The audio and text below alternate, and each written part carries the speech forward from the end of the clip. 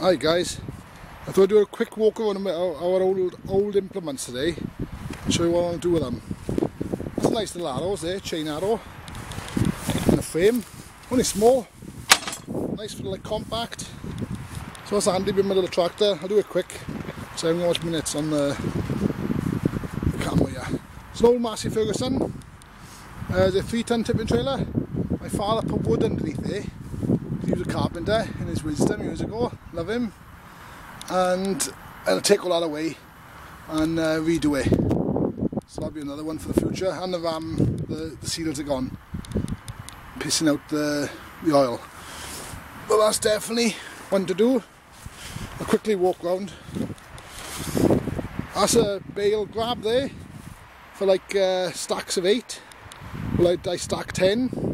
And I put it on the front loader point uh, edge. Got an Haybob by here, which I painted a few years ago.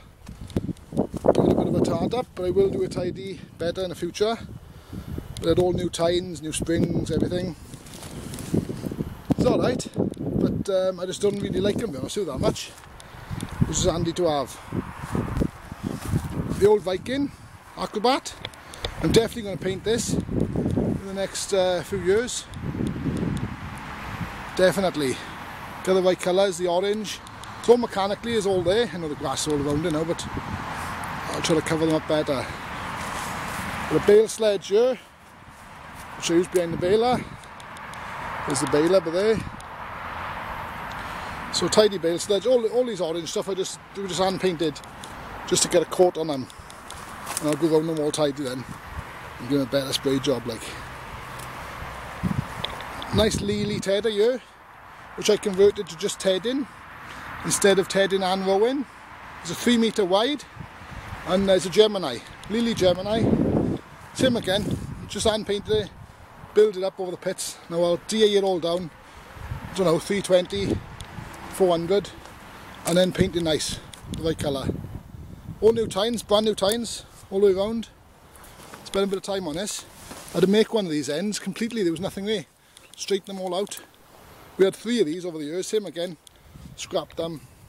Worst thing I ever done. It's the last one I'm left with now. And uh, good machine at heading, really throws it air round. Quickly over here, I've got a front bucket there, a spike, an old roller, which that needs a of loving, maybe one day. Old Teagle, Dynacut 400, belt driven, I just put this weight on this side now because the tractor was very, when you lift that out, it's an heavy head on there, heavy flails, and the stuff this to cut is unbelievable. We've had this for years, it's been brilliant. We do all our edges with it, and uh, one ram was changed there, I've got to sort that out, put some bushing in there because that's a bit big for it.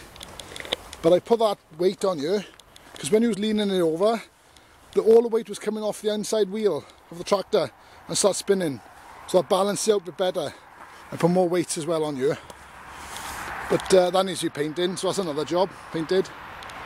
Definitely another one for the future. Too good to leave it just, well not water away, we usually get covered up with a sheet here. I just took the belt off, with a brand new belts on it this year. That's a brand new belt there, we had to order them from Teagle in Cornwall. So that's mechanically is all there. Got new bedding, put new bedding on one of these sides this year. That was a fair bit of work, mind. I had to take the head off it just to change the that belt, eh? That was a nightmare. The old PZ two drum mower here.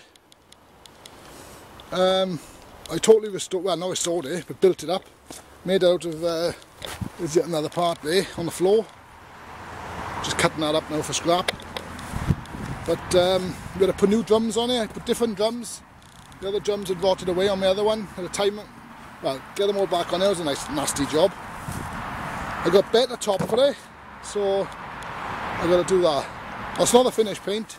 That's just something to paint it up. It's a PZ CM165. Like I said, we use that every year. I'm going to do that up as well with drum mower. Alright, that's just a quick uh, overview of a few of our implements we got. I know they're old, but I'm going to do them all up and uh, look after what we got. Alright, thanks. Cheers.